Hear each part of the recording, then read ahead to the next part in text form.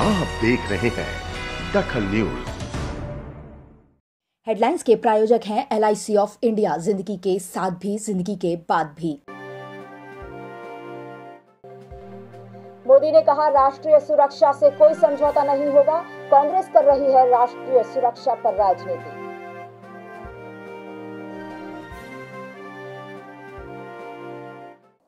जलियावाला बाग, नरसंहार के 100 साल हुए पूरे। कांग्रेस अध्यक्ष राहुल गांधी ने दी शहीदों को श्रद्धांजलि। चुनाव आचार संहिता में दिग्विजय सिंह का बयान, भोपाल में राम मंदिर के लिए कांग्रेस देगी ज़मीन, बीजेपी करेगी दिग्विजय की शिकायत। बीजेपी उपाध्यक्ष शिवराज सिंह नहीं लड़ना चाहते चुनाव, कहा संगठन का हर आदेश मानूँगा।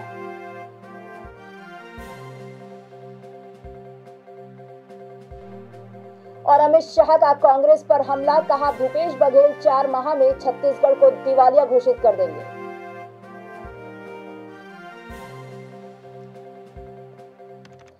नमस्कार, मैं हूँ शेफाली आप देख रहे हैं दखल न्यूज़। अब खबरें विस्तार से। लोकसभा चुनाव में मिशन साउथ पर निकले प्रधानमंत्री नरेंद्र मोदी ने कहा, राष्ट्रीय सुरक्षा से कोई समझौता नहीं होगा।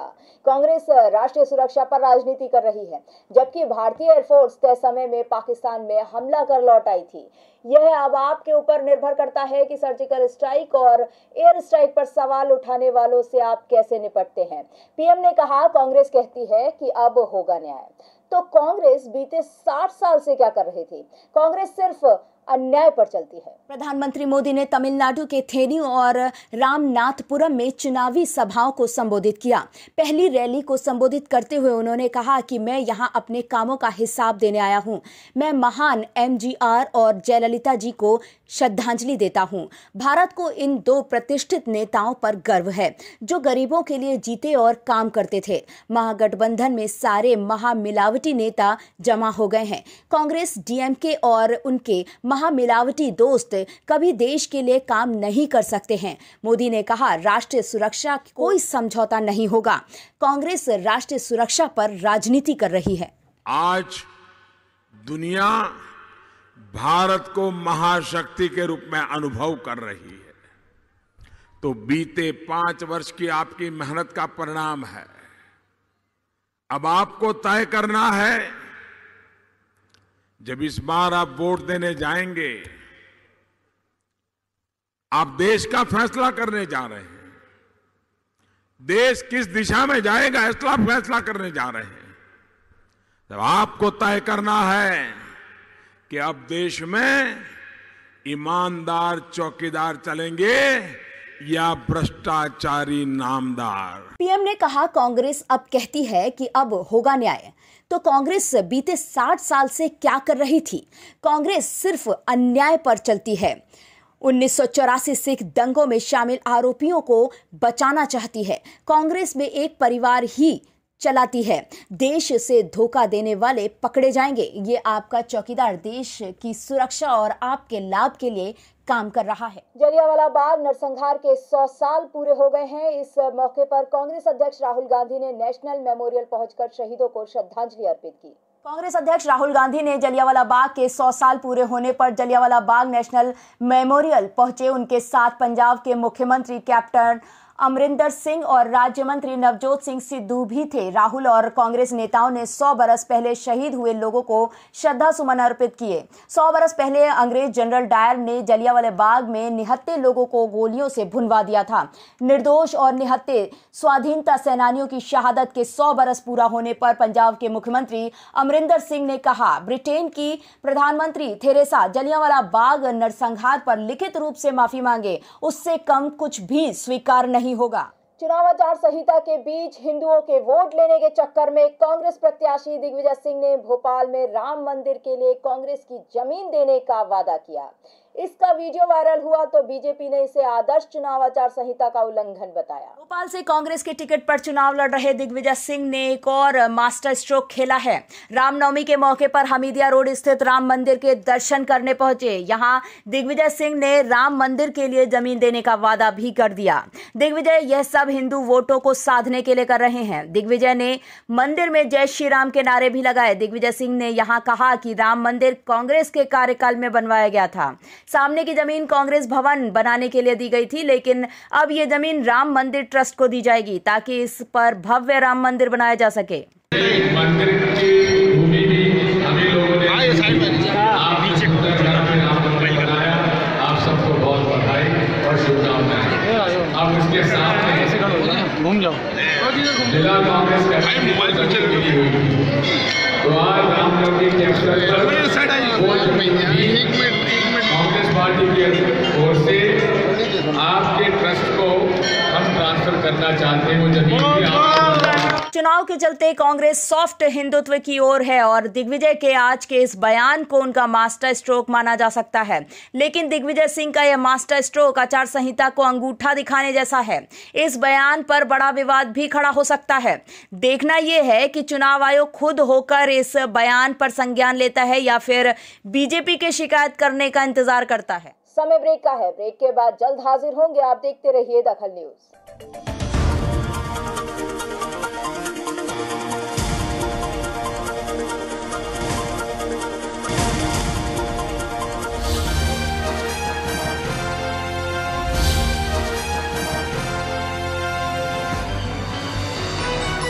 देख रहे हैं दखल न्यूज़। बहुत हुई महँगाई की मार। यही बोल बोलकर मेरा वोट ले गए पिछली बार। ना महँगाई कम हुई, ना मेरी तकलीफें। जब सिलेंडर हज़ार रुपए का हुआ तो घड़ी देख देख के चूल्हा जलाने लगी। सिर्फ़ इसी उम्मीद पर कि अच्छे दिन आएँगे। बुरे वक्त के लिए एक एक पाई जोड़ रखी थी मैंने। इन्होंने नोटबंदी करके मुझे मेरे ही पैसों के लिए लाइन में खड़ा करवा दिया। आज उम्मीदें और भरोसा दोनों टूट गए। अच्छे दिनों का झांसा देने वाली भाजपा सरकार से बच के रहना। देश के दिल से दिल्ली तक। अब कांग्रेस।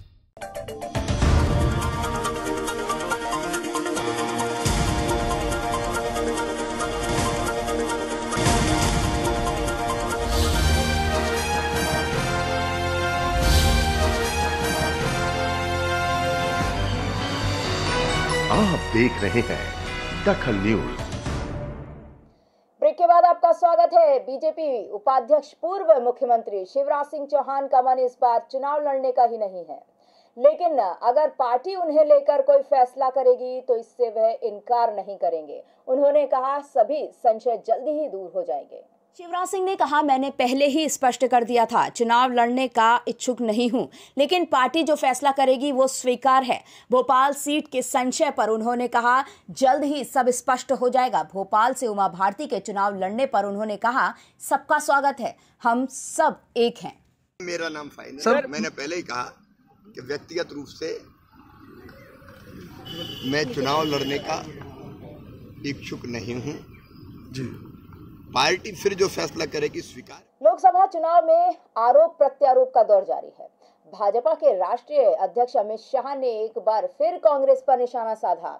अमित शाह ने कहा, भूपेश बघेल चार माह में छत्तीसगढ़ को दिवालिया घोषित करने वाले हैं।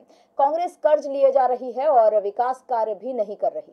राजनांदगांव के लोकसभा क्षेत्र डोंगरगांव में पहुँचे भाजपा के राष्ट्रीय अध्यक्ष अमित शाह ने कहा कि एक तरफ़ नरेंद्र मोदी हैं और एक तरफ़ ठगों की बिरादरी।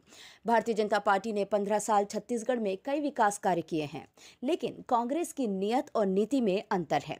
कांग्रेस कर्ज ले रही है और सभी विकास कार्यों पर रोक लगा दी है। शाह ने कहा कि भूपेश बघेल चार माह में छत्तीसगढ़ को दिवालिया घोषित करने वाले हैं। भाजपा के विधायक भीमा मंडावी की मौत को राजनीति षड्यंत्र बताया और भीमा मंडावी की मौत को सीबीआई से जाँच कराने की बात भी कही। सीमेंट के दाम क्यों बढ़े हैं? देश भर में सीमेंट के दाम नीचे गए हैं। छत्तीसगढ़ के अंदर सीमेंट का दाम ऊपर गया है, क्योंकि भूपेश बघेल टैक्स ऊपर लग गया है। ये जो फिरौती का काम शुरू हुआ है, इसके कारण सीमेंट महँगा हुआ है। रेत की खदानों का ठेका पंचायतों से आपने छीन लिया कानून और व्यवस्था को तार तार कर दिया और ट्रांसफ़र इंडस्ट्री जो रमन सिंह जी ने बंद कर दी थी, तब राज्यों में भ्रष्टाचार बंद किया था। आज दिन दहाड़े ट्रांसफ़र इंडस्ट्री रायपुर के अंदर धम धम धम चल रही है। शाह ने शराबबंदी को लेकर कांग्रेस को आड़े हाथों लिया। कहा कि शराब बंद नहीं की गई। शराब पर टैक्स लगा रहे हैं और कांग्रेसी चखना दुकान चला रहे हैं। शाह ने कार्यकर्ताओं को बूथ स्तर पर काम कर पूरे छत्तीसगढ़ में 11 सीटों पर जीत दिलाकर केंद्र में मोदी सरकार बनाने की बात कही है। बीजेपी ने कांग्रेस की कमलनाथ सरकार के खिलाफ प्रदर्शन किया। और कांग्रेस सरकार को हर मोर्चे पर विफल बताया। बीजेपी नेताओं ने कहा, मध्य प्रदेश में झूठ बोलने वालों का राज्य है और हर तरफ़ अराजकता का माहौल है। से पहले बीजेपी कमलनाथ सरकार के खिलाफ सड़कों पर उतर आई है। भोपाल के बोर्ड ऑफ़िस चौराहे पर बीजेपी ने कांग्रेस सरकार के खिलाफ प्रदर्शन किया और कहा कि प्रदेश में झूठ और तबादलों की सरकार चल रही है। बीजेपी नेताओं ने आयकर छापों के ज़रिए कांग्रेस को घेरने की कोशिश की। इस प्रदर्शन में बीजेपी के तमाम बड़े नेता शामिल हुए। सांसद आलोक संजर ने कहा कि बीजेपी के सभी कामों का श्रेय कांग्रेस लेने में लगी हुई है। ये सरकार झूठ का पुलिंदा है। उसका सूक्ष्म अध्ययन और चिंतन करने की आवश्यकता है। यदि आप उनको पढ़ोगे जो उन्होंने विज्ञापन दिया था? प्रतीक्षा में है ये काम किया जाएगा ऐसा करके कहा गया। बल्कि मैं एक उदाहरण आपको देता हूँ। जिस मिंटो हॉल का तत्कालीन मुख्यमंत्री आदरणीय शिवराज सिंह चौहान जी ने उद्घाटन कर दिया था उसको भी उन्होंने अपनी उपलब्धि में लिखा है। इससे ये सिद्ध होता है कि कांग्रेस और कांग्रेस की सरकार सिर्फ़ झूठ का पुलंदा है जनता को भ्रमित करने का काम कर रहे हैं इसके अलावा कोई दूसरा उनके काम नहीं है। बीजेपी ने कहा मध्य प्रदेश में सरकार भ्रष्टाचार के नए कीर्तिमान रच रही है। कानून व्यवस्था की हालत खराब है। बीजेपी ने इस सरकार के खिलाफ संघर्ष शुरू कर दिया है। प्रदेश एक बार फिर दिग्विजय सिंह वाले काल की तरफ़ बढ़ रहा है। प्रदेश सरकार के अंदर जिस प्रकार से भ्रष्टाचार से लेकर प्रदेश में कानून व्यवस्था और सारी प्रकार से व्यवस्था ध्वस्त हो रही है उन सारे मुद्दों पर आज भारतीय जनता पार्टी ने प्रदेश सरकार की विफलताओं को लेकर के व्यापक धरने आयोजित किए आप देख रहे हैं कि किस प्रकार से कितने दिनों की सरकार है, सौ दिन में कितने भ्रष्टाचार के मुद्दे उजागर होकर आज मध्य प्रदेश के अंदर पटल पर है। जनता इस बात को देख रही है कि इतने दिनों में कमलनाथ सरकार किस प्रकार से भ्रष्टाचार में लिप्त हुई है। वक्त ब्रेक का है। ब्रेक के बाद जल्द हाजिर होंगे। आप देखते रहिए दखल न्यूज़।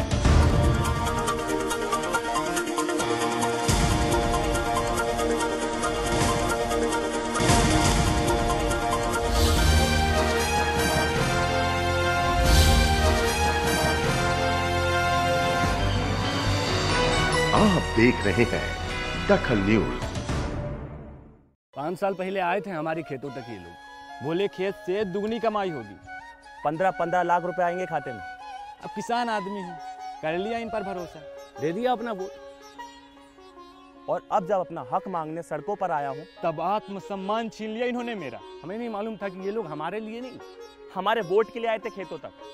विश्वास तोड़ा है इन्होंने मेरा। मेहनती किसानों को ठगने वाले इस ठग मास्टर से। मेहनती किसानों को ठगने वाले इस ठग मास्टर से। हम मेहनती किसानों को ठगने वाले इस ठग मास्टर से जरा बच के रहना। रहना। देश के दिल से दिल्ली तक। अब कांग्रेस।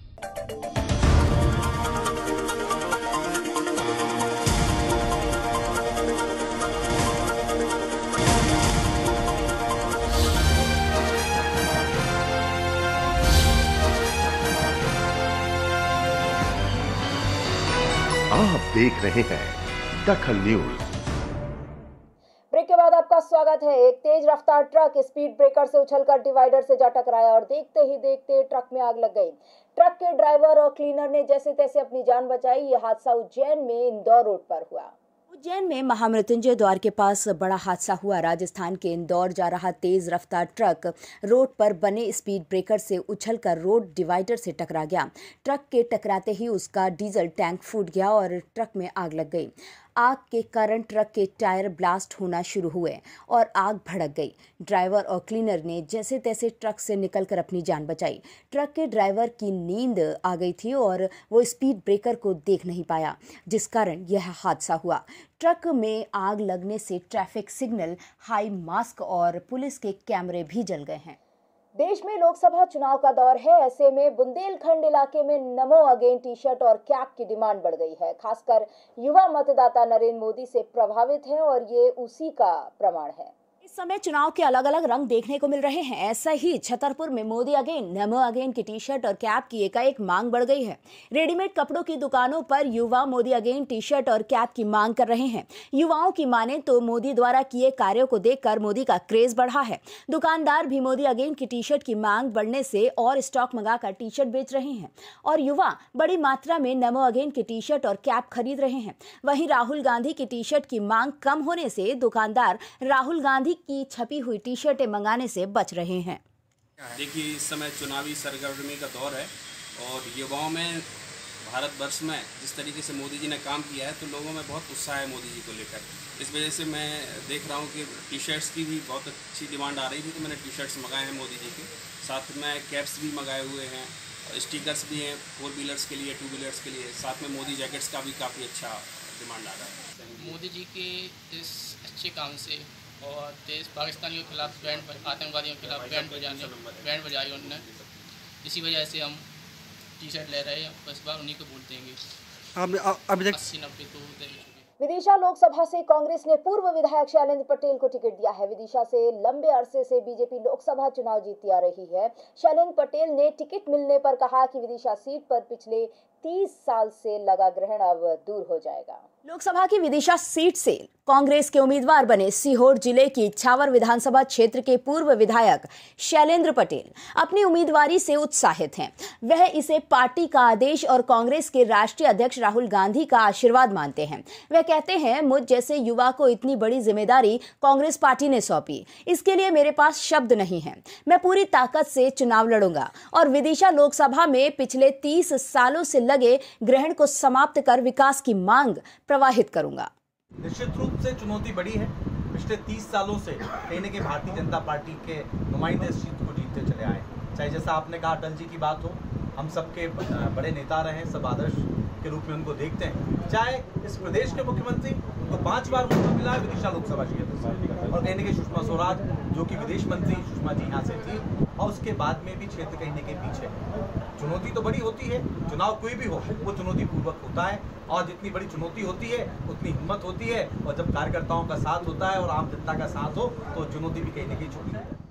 लोकसभा चुनाव के मद्देनजर पुलिस ने सीहोर में वाहन चेकिंग के दौरान बुलेरो से 29 लाख रुपए नकद बरामद किए हैं। रिकॉर्ड मैच ना होने पर पुलिस ने रुपए जब्त कर लिए हैं। सीहोर ज़िले के आष्टा तहसील की सिद्दीकगंज थाना पुलिस को वाहन चेकिंग के दौरान भारी मात्रा में कैश मिला। वाहन चेकिंग के दौरान एक बुलेरो जीप से 29 लाख की नकदी मिली।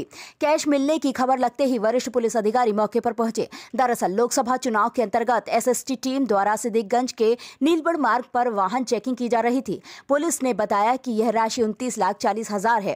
कैश की अधिकता को देखकर तत्काल भोपाल से आयकर अधिकारियों को बुलाया गया। आयकर की टीम अब कैश को लेकर विभिन्न बिंदुओं पर जाँच कर रही है।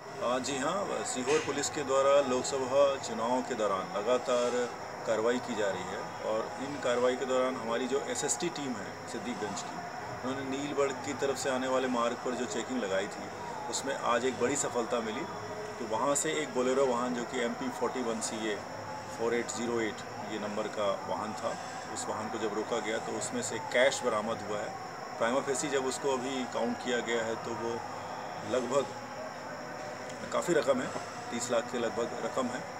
और इसमें हरी सिंह सैंधव और उसके साथ तीन और अन्य साथी हैं। इसको एसएसटी टीम के द्वारा इंक्वायरी की जा रही बुलेरो में मौजूद लोगों का कहना था कि रकम ज़मीन बेचने से मिली है। उन्होंने ज़मीन के सौदे से जुड़े कागजात भी पुलिस को दिखाए, लेकिन पुलिस पूछताछ के दौरान जवाब से संतुष्ट नहीं हुई। अब जाँच के बाद ही खुलासा हो पाएगा कि कैश के परिवहन का वास्तविक औचित्य क्या था। फ़िलहाल, पुलिस और आयकर की टीम कई पहलुओं पर पूछताछ कर रही है। समय ब्रेक का है। ब्रेक के बाद जल्द हाजिर होंगे। आप देखते रहिए दाखल न्यूज़।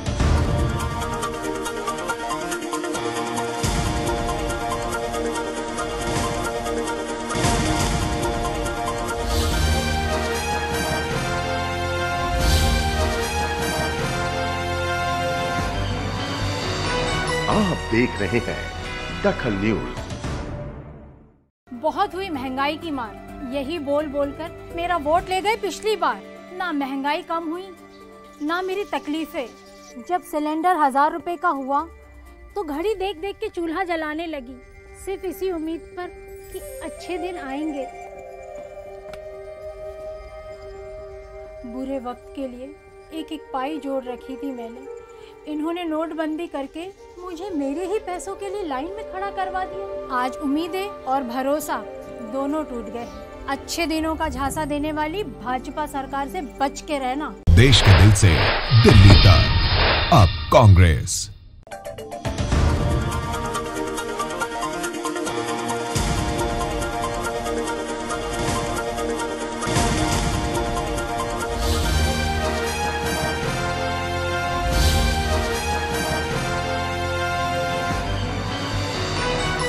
देख रहे हैं दखल न्यूज़।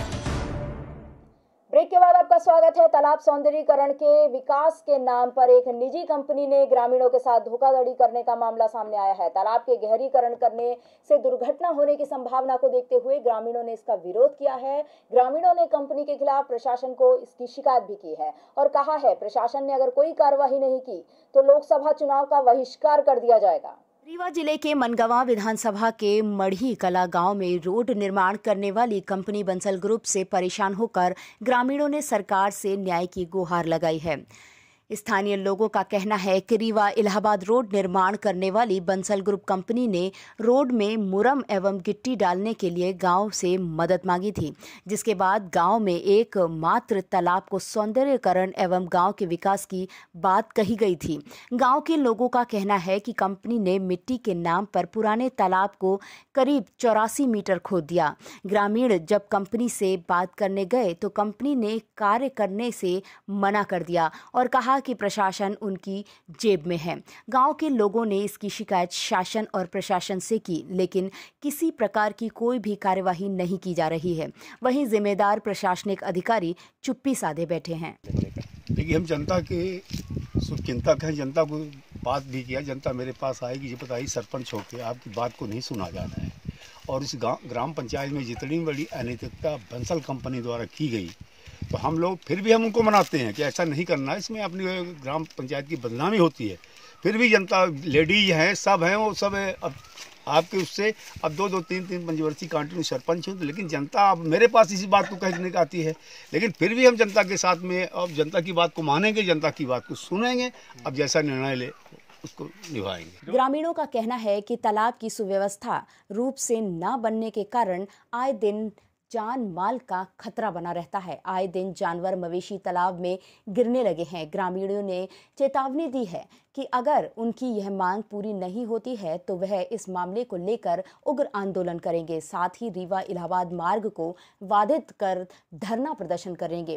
कार्यवाही न होने पर ग्रामीणों ने लोकसभा चुनाव का बहिष्कार करने की बात भी कही है। विरोध ये है कि सबसे बड़ी पहली जो लिख के कंपनी ने जो वादे किए थे उनने कुछ नहीं किया यहाँ पे आके।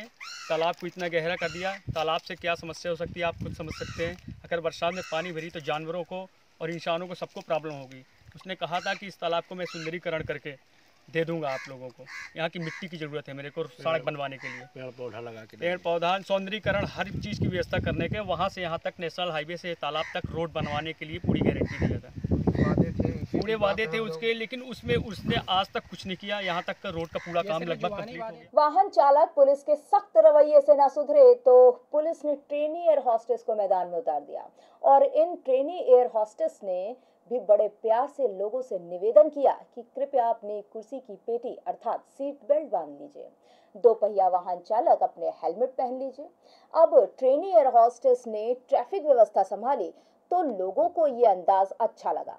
मगर देखना ये होगा कि लोगों पर इसका असर कितना पड़ता है। इंदौर में रीगल चौराहे पर वाहन चालकों को ऐसा लगा जैसे वो फ़्लाइट पर सफ़र कर रहे हों।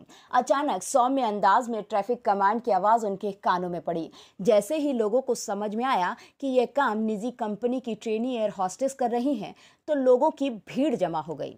एक अलग अंदाज में यातायात के नियमों का पालन करने का संदेश दिया जा रहा था। जैसे ही रेड लाइट होती है, वैसे ही खूबसूरत trainee air hostess zebra crossing पर आ जाती हैं और अपने अलग ही अंदाज में ट्रैफ़िक के नियम समझाती हैं। उन्होंने सभी से ट्रैफ़िक के नियमों का पालन करने का अनुरोध किया। डीएसपी उमाकांत चौधरी ने बताया कि सुबह कंट्रोल रूम में 70 से अधिक छात्राओं को ट्रैफ़िक नियमों की जानकारी दी गई थी। यह प्रशिक्षण आगे भी जारी रहेगा। कृपया ध्यान दें, अपने और अपनों की सुरक्षा को ध्यान में रखते हुए चार पहिए वाहनों वाले, कृपया अपनी कुर्सी की पेटी अर्थात सीट बेल्ट बाँध। ले दो पहिए वाहनों वाले, कृपया अपना हेलमेट पहन के लॉक कर लें। सरकारी ज़मीन पर अवैध खनन करके लाखों रुपए की रॉयल्टी चोरी करने के मामले में सारंगढ़ एसडीएम व खनिज विभाग की टीम ने छापामार कार्रवाई करते हुए करीब 25 लाख मूल्य की अवैध गिट्टी के साथ 12 डंपर तक एक जीसीबी और एक पोकलिन मशीन को जब्त किया है। लंबे समय से अवैध खनन करके रॉयल्टी चोरी की जा रही थी। इसकी जानकारी लगते ही सारंगढ़ एसडीएम व खनिज विभाग की टीम ने खनिज अधिनियम की धाराओं के तहत कार्यवाही करते हुए अवैध खनन करने वाले व्यक्ति के खिलाफ मामला दर्ज करके जाँच शुरू कर दी है। सारंगढ़ ब्लॉक के ग्राम टिमरलगा में लंबे समय से एक क्षेत्र में अवैध खनन के ज़रिए गिट्टी परिवहन की जा रही थी। कलेक्टर को जब इसकी शिकायत मिली, तब उनके निर्देश पर सारंगढ़ एसडीएम तथा खनिज विभाग के सहायक उप संचालक एस एस नाग ने टीम बनाकर टिमरलगा से उस इलाके में छापामार कार्रवाई की, जहाँ अवैध खनन के ज़रिए गिट्टी की चोरी की जा रही थी। इस संबंध में एसडीएम हितेश बघेल और सहायक खनिज आयुक्त ने बताया कि मौके पर 12 डंपर गिट्टी से लदे जब्त किए गए हैं।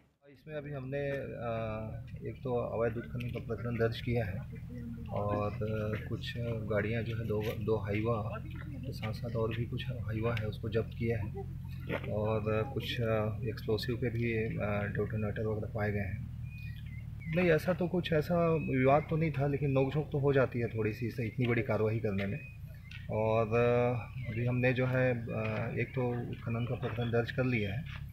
और हम नियमानुसार कार्रवाई करेंगे जब जब जब तक तो अभी हमने दो पोकलेन है और इसमें दो हाईवा है और कुछ तीन तीन चार ट्रकें और हैं। आज माइनिंग और राजस्व विभाग के द्वारा संयुक्त रूप से कार्रवाई की गई इसमें जो अवैध उत्खनन हो रहा है हिमरलगा क्षेत्र में और साथ में जो बिना रॉयल्टी और हैवी व्हीकल अवैध रूप से ले जाते हैं। उनके ऊपर कार्रवाई इन दोनों अधिकारियों ने बताया कि शिकायत मिलने के बाद यह कार्रवाई की गई है और मौके पर अवैध गिट्टी खनन होना पाया गया है और इसके परिवहन में शामिल वाहनों को भी जब्त करके राजसात की कार्रवाई की जा रही है। इन अधिकारियों का कहना है कि बिना अनुमति के खनन कार्य के चलते शासन को रॉयल्टी का बड़ा नुकसान हुआ है। भारत पाकिस्तान के बॉर्डर पर तनौट माता के मंदिर में जवान देवी आराधना में व्यस्त रहते हैं। इस मंदिर पर पाकिस्तान ने 1965 में युद्ध में 25 बम गिराए थे, लेकिन एक भी बम नहीं फटा और मंदिर पूरी तरह सुरक्षित रहा। तब से जवानों की इस मंदिर में अपार श्रद्धा है। इस इलाके में तैनात होने वाला हर जवान यहाँ आकर माँ की आराधना ज़रूर करता है। यह मंदिर कोई आम मंदिर नहीं है। यहाँ हमारे जाबाज सैनिक शक्ति की आराधना करते हैं। तानौट माँ का मंदिर जैसलमेर ज़िले से लगभग 130 किलोमीटर की दूरी पर स्थित है। तनौट राय को हिंगलाज माँ का ही एक रूप कहा जाता है। हिंगलाज माता का मंदिर वर्तमान में बलूचिस्तान, जो पाकिस्तान में है, वहाँ स्थापित है। भाटी राजपूत नरेश तानू राव ने विक्रम संबत आठ में तनौट का मंदिर बनवाकर मूर्ति को स्थापित किया था। इसी बीच भाटी तथा जैसलमेर के पड़ोसी इलाकों के लोग आज भी इस माता को पूजते आ रहे हैं। भारत और पाकिस्तान के मध्य जो सितंबर 1965 की लड़ाई हुई थी, उसमें पाकिस्तान के सैनिकों ने मंदिर पर कई बम गिराए थे, लेकिन माँ की कृपा से एक भी बम नहीं फट सका था। तभी से सीमा सुरक्षा बल के जवान इस मंदिर के प्रति काफ़ी श्रद्धा भाव रखते हैं।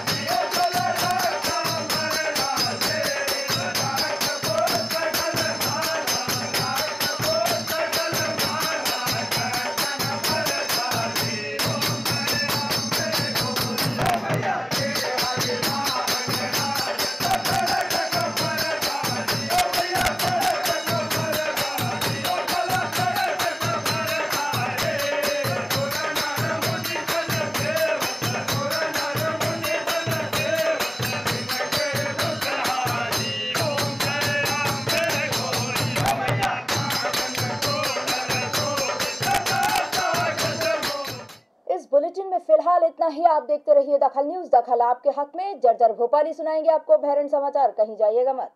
नमस्कार, भैरन समाचार, में आपको वेलकम कर रहा हूँ। मैं हूँ जर्जर भोपाली। तो कल्याण भाई, आज दिमाग खराब है मेरा, आज चाय वाय कुछ नहीं पिलाऊं। देखो ऐसी ऐसी खबरें आ रही है दंतेवाड़ा में नक्सलियों ने वो गाड़ी उड़ा दी, बताओ, विधायक मर गए और चार पाँच लोग और मर गए। और मैं बता रहा हूँ, इतनी मारा मारी का शौक है काय को। अरे, चुनाव लड़ो, अपने अधिकार लेना है तो यहाँ आओ। बढ़िया बंगलों में बैठो इसी बंगलों में। लोगों को मानने से कोई अधिकार मिल जाते हैं? और दूसरी खबर ये देख लो इधर पे, ये टाइगर के पेड़ काट ले गए राता पानी जंगल के वहाँ। और मैं बता रहा हूँ, देखो टाइगर नहीं बचेगा ना तो तुम भी नहीं बचोगे, जंगल नहीं बचेंगे, बता रहा हूँ, मुश्किल हो जाएगी। थोड़ा होश में रहो।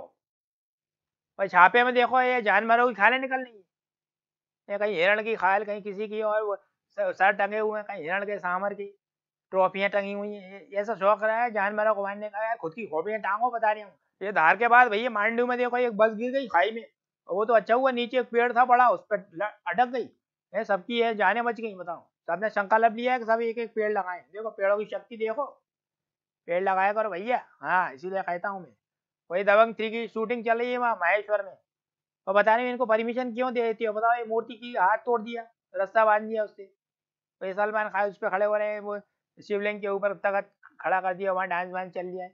और मैं बता रहा हूँ, ऐसे जो मॉन्यूमेंट है, हमने वहाँ पे परमिशन दो ही बात ये कितने कारीगरों ने कितनी मेहनत से चीज़ें बनाई हैं, और इनका क्या है, खराब कुरू करके चले जाएँगे ये तो चल जाए और भैया, ये पहले चरण का मतदान खत्म हो गया, और मैं बता रहा हूँ, बहुत अच्छा हुआ बेचारे चाय चाय बंद हुई, है? बेचारे जो स्टूडेंट वगैरह हैं, उनको कितनी दिक्कत होती है? इनके ये लाउड स्पीकर ले लेकर वहाँ करते रहते बता रहे हैं, बहुत दिमाग खराब है आज मेरा। वही पर्चे वर्चे भर रहे हैं लोग भैया राहुल गांधी ने पर्चा भर दिया अमेठी से वही मोदी भरने वाले हैं, छब्बीस को मैंने सुना है। कमलनाथ ने भर दिए। और मेरा भी भैया, मैं भी पर्चा भरने जा रहा हूँ। डॉक्टर के यार, मेरा सर खराब हो गया है तो पर्चे में डॉक्टर से भरवाऊँगा कुछ हाँ गोलियाँ वगैरह लिखवाऊँगा। बता रहे हूँ। कसम, भोपाल की खा रहा हूँ, अब मैं जा रहा हूँ। नमस्कार।